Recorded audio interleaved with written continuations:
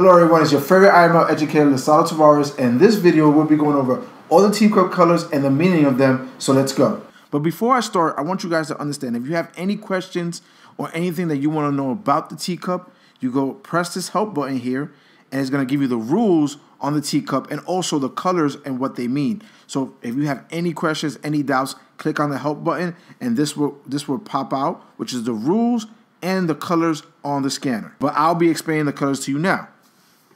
So the first color is the blue teacup, right? The blue teacup on your screen, it says future pending teacup. That does not mean to trade this teacup. That's just letting you know that in the future, if price comes 20 pips from the entry price that this blue teacup is at, what's going to happen is that the blue teacup is going to turn into the pink teacup, making it a pending activation and also giving you a sell limit price, a stop loss, and a take profit. So now on this screen here, we have a purple teacup, right? Which is a pending activation. So when you see a pending teacup, that's the only time you place a trade because that teacup, that color teacup gives you your sell limit price, your take profit, and your stop loss. So you do not trade off the blue, you only trade off the purple or pink. So now we're gonna go into the gold teacup.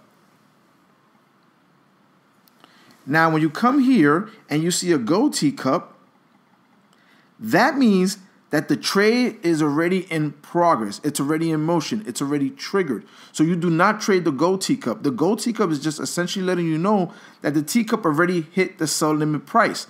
Now this arrow, this red arrow that you see here, you're only going to see it on the right hand side of the gold teacup and only when there's a gold teacup that appears on your screen. So the arrow is basically pointing at the candle that triggered your sell limit price. So if you didn't know when your sell limit price triggered, the arrow is pointing at the candlestick. It will give you the hour and the time that your sell limit triggered.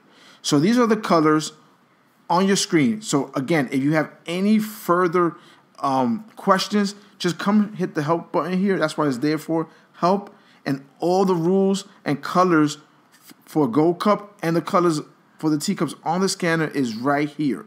All right, guys, so I went over the colors of the teacups and what they mean on your screen and the actual meaning of each color.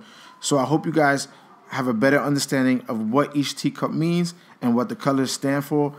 From your favorite IML educator, Lasalo Tavares. See you in the next video.